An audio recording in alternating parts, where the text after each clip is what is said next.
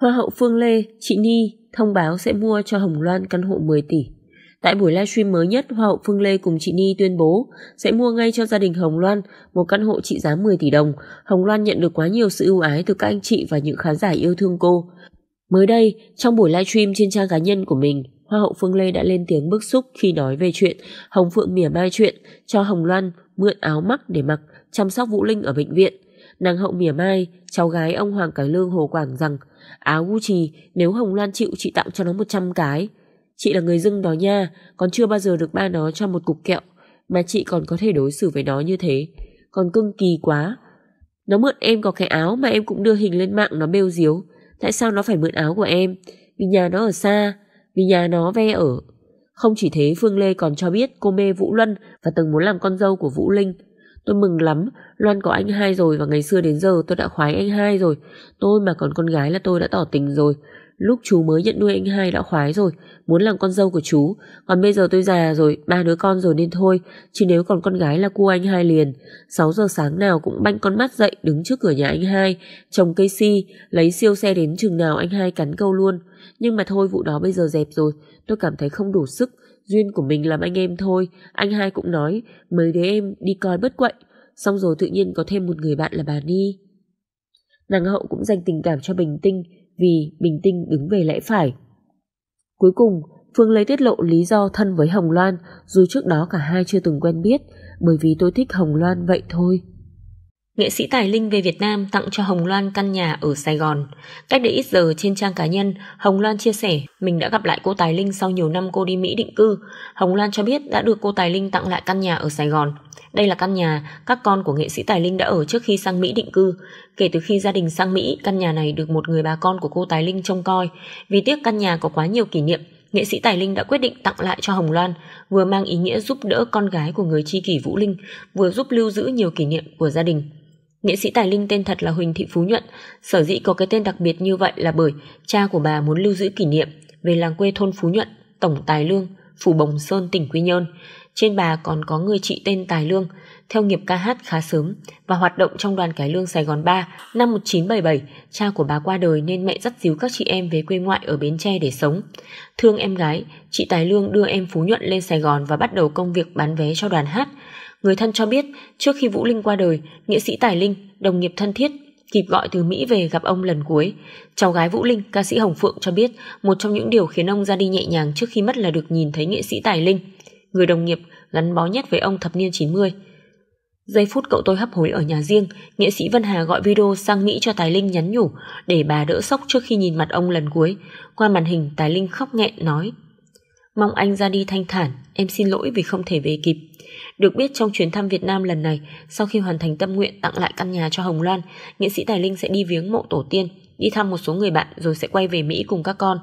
Nữ nghệ sĩ cho biết vì tuổi cũng đã cao, bà không biết sẽ còn bao nhiêu lần được trở về quê hương nên bà muốn làm những điều ý nghĩa nhất cho quê nhà. Lộ ra thế cực khủng con rể Vũ Linh chồng Hồng Loan. Hiếm thấy Hồng Loan nhắc đến chồng, không ngờ anh lại có ra thế không phải dạng vừa. Chồng Hồng Loan có nhà đắc địa ngay tại quận 7, nơi sầm uất, chỉ những đại gia mới có thể sinh sống tại đây. Chuyện dùm beng của gia đình vợ anh, anh không muốn nhúng tay vào nhưng vẫn đứng đằng sau âm thầm ủng hộ bảo vệ vợ. Nhiều năm qua, truyền thông đưa tin nghệ sĩ ưu tú Vũ Linh sống độc thân không con cái, ở cùng em gái Hồng Nhung và cháu là ca sĩ Hồng Phượng. Tuy nhiên tại đám tang, con gái nghệ sĩ ưu tú Vũ Linh xuất hiện để tang cho cha và chia sẻ về mối quan hệ với nghệ sĩ Vũ Linh. Con gái nghệ sĩ Vũ Linh là Võ Thị Hồng Loan, năm nay 37 tuổi đã kết hôn sống tại quận 7 thành phố Hồ Chí Minh. Chị cùng Bình Tinh, nghệ sĩ ưu tú Vũ Luân mặc đồ tang dành cho con trai con gái tại đám tang nghệ sĩ ưu tú Vũ Linh. Tại đám tang, Hồng Loan cho biết cô được ba giấu kín thông tin trước báo chí vì muốn con gái có cuộc sống yên ổn không bị làm phiền. Tôi không theo nghệ thuật, nhiều năm qua tôi sống kín tiếng, chỉ người thân và đồng nghiệp biết đến tôi, Hồng Loan chia sẻ. Hồng Loan nói những ngày qua, cô cùng Bình Tinh túc trực tại bệnh viện chăm sóc cho cha bệnh nặng. Dù sống ở quận 7, cô thường xuyên gọi điện hỏi thăm, khi có thời gian sang chăm sóc cho cha, Vũ Linh cũng có hỗ trợ tài chính sức khỏe tinh thần cho con gái. Trong các video được Hồng Phượng đăng tải lên kênh cá nhân, Vũ Linh thường nhắc đến hai người con gái ông yêu quý nhất là Hồng Phượng Hồng Loan. Nhiều khán giả nghĩ đây là hai người cháu của Vũ Linh. Thực tế Hồng Loan là con gái của nghệ sĩ Vũ Linh. Nghệ sĩ Bình Tinh cũng xác nhận với báo chí về sự xuất hiện của Hồng Loan, con gái gái nghệ sĩ ưu tú Vũ Linh tại tang lễ. Bình Tinh nói Hồng Loan không theo nghề, cô út sống khép kín, ít nói chuyện và không giỏi giao tiếp. Tối mùng 6 tháng 3, lượng người đổ về dự tang lễ của nghệ sĩ Vũ Linh tăng chóng mặt, người dân xếp hàng dài đến một cây số để chờ và thắp nhang cho thần tượng. Ngoài đường, đội livestream xuất hiện với số lượng vài chục. Lực lượng chức năng phải dàn đội hình để giữ trật tự. Mỗi khi có nghệ sĩ xuất hiện, YouTuber tràn ra gây ùn tắc. Đây là lý do gia đình không cho phép tăng nghiệp bên trong khu vực tang lễ. Hình ảnh về các nghệ sĩ chủ yếu đến từ gia đình.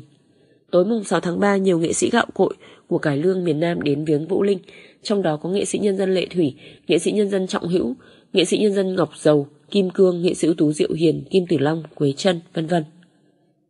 Mẹ ruột Hồng Loan lần đầu về Việt Nam khóc nghẹn gặp lại con gái sau 35 năm.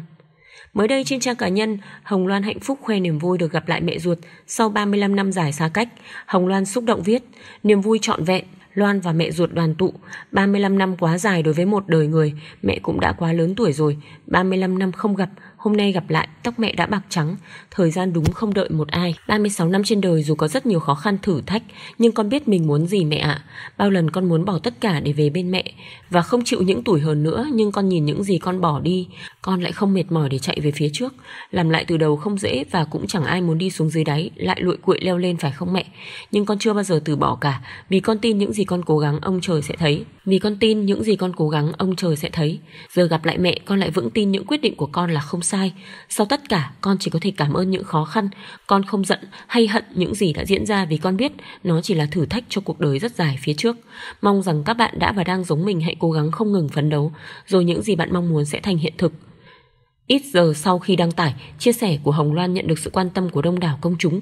Nhiều người chúc mừng hai mẹ con cô được đoàn tụ sau 35 năm xa cách. Trước đó lần đầu khi Hồng Loan xuất hiện trước công chúng cũng là khi ba ruột đã không còn tại thế. Thông tin về mẹ ruột của Hồng Loan cũng được đại diện gia đình nghệ sĩ ưu tú Vũ Linh hé lộ tại tang lễ. Loan từ khi lọt lòng đã không có mẹ, mẹ Loan và Vũ Linh không có mối quan hệ gì với nhau. Khi bà nội, tức là mẹ của nghệ sĩ ưu tú Vũ Linh đưa Loan về nhà, Vũ Linh đã ẵm Loan đi làm giấy khai sinh, điền tên mình vào ô cha để chống ô mẹ. Vì vậy Hồng Loan không hề biết mẹ ruột của mình là ai. Được biết, trước khi mẹ ruột từ Mỹ bay về Việt Nam, người thân và bạn bè thân thiết của cố nghệ sĩ Vũ Linh xác nhận bà Đoàn Thị Hoa chính là mẹ ruột của Loan. 36 năm về trước, sau khi sinh Loan, bà đã bị cha mẹ ép buộc phải theo gia đình sang Mỹ định cư. Từ đó tới nay bà mất liên lạc hoàn toàn. Ở nơi xa cách nửa vòng trái đất suốt 36 năm nay, bà luôn nhớ về con gái. Không ngờ có ngày đoàn tụ con trên quê hương. Bà xúc động chia sẻ. Hồng Loan được mẹ nuôi tặng nhà 3 tầng ở quận 5. Mẹ là fan cứng của ông Hoàng Cải Lương Vũ Linh. Mới đây trên trang cá nhân của mình, Hồng Loan thông báo cô chính thức nhận lời đề nghị bà Kim Loan trở thành mẹ nuôi của mình. Được biết bà Kim Loan là nữ doanh nhân ngành vàng bạc đá quý giàu nhất Sài Gòn. Từ lâu cô Kim Loan đã hâm mộ cố nghệ sĩ Vũ Linh. Trước đây khi Vũ Linh biểu diễn, dù xa đến đâu cô cũng đi tận nơi để xem. Biết được hoàn cảnh của Hồng Loan từ nhỏ không có mẹ, khiến cô rất thương cảm vì cô cũng từng là trẻ mồ côi. Ngay sau khi nhận làm con nuôi, cô đã tặng Hồng Loan căn nhà 3 tầng rộng hơn 300 mét vuông tại quận 5 thành phố Hồ Chí Minh. Cô nói căn nhà này cô tặng cho Hồng Loan để kể từ nay chuyện của Hồng Loan cũng là chuyện của cô. Cô sẽ hỗ trợ cho Hồng Loan, cho con của Hồng Loan cho đến khi các cháu học xong đại học. Câu nói này của cô khiến Hồng Loan xúc động. Phương Lê có mặt trong buổi gặp mặt cũng không kiềm được sự xúc động. Được biết ngôi nhà Hồng Loan được mẹ nuôi tặng nằm ở đường Chu Văn An, phường 6, quận 5. Ngôi nhà lấy tông trắng vàng làm màu chủ đạo. Bên trong ngôi nhà tuy nhìn rất đơn giản, nhưng đa phần nội thất đều làm từ gỗ đắt tiền. Tuy chỉ chia sẻ hình ảnh một góc nhỏ, ai nấy đều phải trầm trồ khen ngợi về độ sang trọng và rộng rãi. Trải qua mọi ồn ào, Hồng Loan gần đây đã dần ổn định.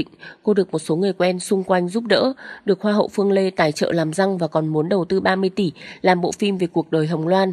Mới đây Hồng Loan lại gây xôn xao khi được một nữ doanh nhân nhận làm con nuôi. Được biết, Mẹ nuôi của Hồng Loan là doanh nhân Võ Thị Kim Loan là một nữ doanh nhân có tiếng trong lĩnh vực kim hoàn, sở hữu nhiều cửa hàng vàng bạc đá quý nổi tiếng tại thành phố Hồ Chí Minh. Một số trang thông tin còn ví bà Kim Loan là một nữ tướng của ngành kim hoàn Việt Nam. Nữ doanh nhân này từng trải qua không ít biến cố để có được thành công hiện tại. Doanh nghiệp Kim Loan cũng từng nhận được nhiều giải thưởng nổi bật trong kinh doanh, như huy chương vàng top 10 hỗ trợ sản phẩm chất lượng cao tại Huế, bằng khen doanh nghiệp trẻ xuất sắc nhất Việt Nam của Trung ương Hội Liên hiệp Thanh niên Việt Nam, danh hiệu doanh nghiệp trẻ tiêu biểu được Tổng Bí thư Nông Đức Mạnh khen tặng tại Hội trợ quốc tế vàng trang sức lần thứ nhất tổ chức tại Hà Nội. Được biết, chân dung doanh nhân nổi bật hành trình đến với những ước mơ và bí quyết thành công của nhà xuất bản lao động, xã hội xuất bản vào năm 2010, gần đây nhất là top 5 doanh nhân văn hóa Việt Nam 2012. Trước đó, Hồng Loan cũng thu hút sự chú ý khi bất ngờ được Hoa hậu Phương Lê tài trợ cho làm răng. Diện mạo mới của Hồng Loan khiến không ít netizen xôn xao bàn tán. Đáng nói hơn, ngay sau khi cho Hồng Loan lột xác, Phương Lê bất ngờ tuyên bố sẽ chi thêm 30 tỷ để làm một bộ phim về cuộc đời Hồng Loan. Phương Lê chia sẻ và đăng ảnh chụp thân thiết bên Hồng Loan. Sau nhiều ngày suy nghĩ tôi quyết định đầu tư 30 tỷ làm bộ phim về cuộc đời Hồng Loan. Một khi đã máu thì con ra con cháu ra cháu, báo đời hết vai.